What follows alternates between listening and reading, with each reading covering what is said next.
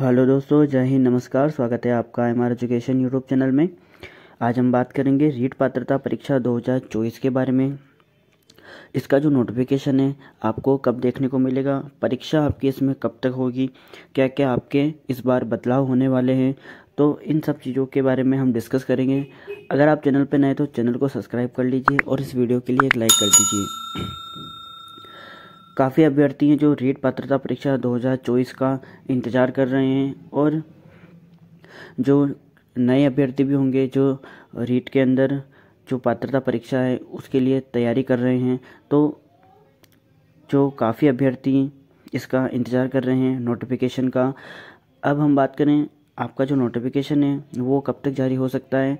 तो आपको इसका नोटिफिकेशन जनवरी के लास्ट वीक में या फरवरी के फ़र्स्ट वीक में देखने को मिल जाएगा पूरी तरीके से क्योंकि अभी जो चुनाव का रिज़ल्ट आना बाकी है तीन दिस, तीन दिसंबर को जो राजस्थान के अंदर विधानसभा चुनाव का परिणाम जारी होगा उस प्रकार के बाद जो आपकी सरकारें बनेगी तो नोटिफिकेशन निकलने का जो प्रोसेस है वो आपके जनवरी एंड तक स्टार्ट हो जाएगा।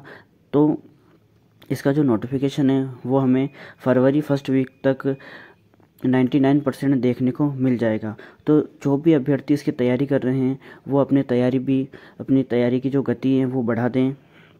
अब हम बात करते हैं इसकी जो परीक्षा है, वो कब तक हो सकती है? मेन जो चीज़ होती है, परीक्षा की होती है कि जो इसकी परीक्षा, वो कब तक हो सकती है?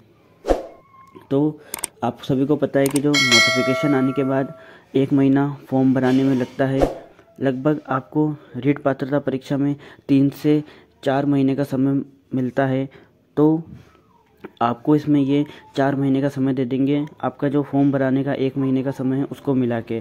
तो तीन से चार महीने आपको इस नोटिफिकेशन आने के बाद आपका जो एग्ज़ाम है, वो होने की पूरी संभावना है। अब हम बात करते हैं कि जो इसके एग्ज़ाम में क्या क्या बदलाव होंगे?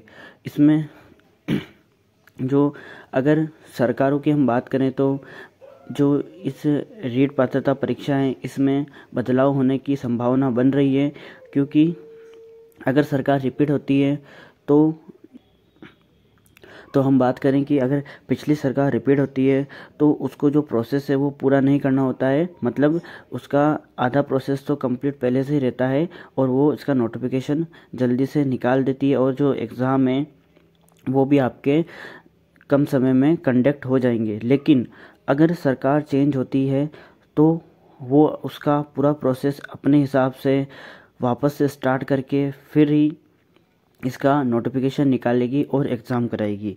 और अगर बदलाव नहीं होते हैं, सरकार भी रिपीट होती है तो आपकी जो रीट पात्रता परीक्षा है दो है वो आपको अंदर देखने को मिल जाएगी। अब हम बात करें कि आपकी जो तैयारी की रणनीति है, वो क्या रहने वाली है?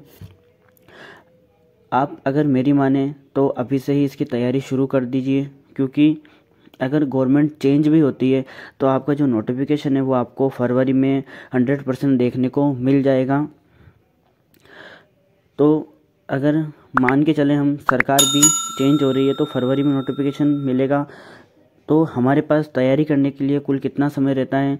दिसंबर, जनवरी, फरवरी, और फरवरी में नोटिफिकेशन आता है तो उसके चार महीने मान लीजिए, यानी आपके पास लगभग पाँच से छः महीनों का समय रहता है। तो पाँच से छः महीने इसमें आप मान के चलिए आपकी रीट पात्रता परीक्षा 2024 में आपको मिलने वाले जो पुराने अभ्यर्थी हैं जो पिछली बार रह गए थे, उनकी भी अच्छी तैयारी रही रही होगी। और जो नए कैंडिडेट हैं, जो अभी 2024 की रीट पात्रता परीक्षा देंगे तो उनके पास लगभग पाँच से छः महीना शेष रह रहा है। तो आप अपनी जो तैयारी कर रहे हैं, अच्छे प्रकार से तैयारी करें और जिसकी तैयारी अच्छी हो गई है, वो अपनी तैयारी और मज़बूत कर लें, क्योंकि इसका जो नोटिफिकेशन है, उसमें ज़्यादा समय नहीं रह गया है। सरकार, मान लो अगर हम माने भी सही कि सरकार चेंज होगी तो भी फरवरी तक आपका नोटिफिकेशन आपको देखने को मिल जाएगा। बिल्कुल सौ परसेंट चांस है आपके जो आपका नोटिफिकेशन है वो फरवरी में देखने को मिल जाएगा। तो इस प्रकार से हमने जो रीट पात्रता परीक्षा 2024 के बारे में बात करी। अगर आपको वीडियो पसंद आया दोस्तों तो वीडियो को लाइक कर दीजिए और चैनल को सब्सक्राइब कीजिए। अगर आपको रीट पात्रता परीक्षा 2024 से कोई भी डाउट है कन्फ्यूज़न है तो इस वीडियो के कमेंट बॉक्स में आप कमेंट कर सकते हैं।